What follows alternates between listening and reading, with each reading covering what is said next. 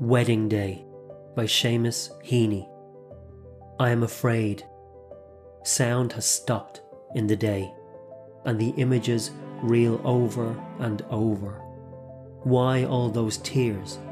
The wild grief on his face outside the taxi. The sap of mourning rises in our waving guests.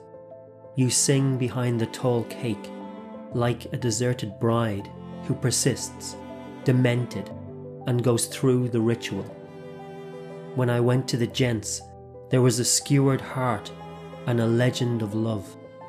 Let me sleep on your breast to the airport.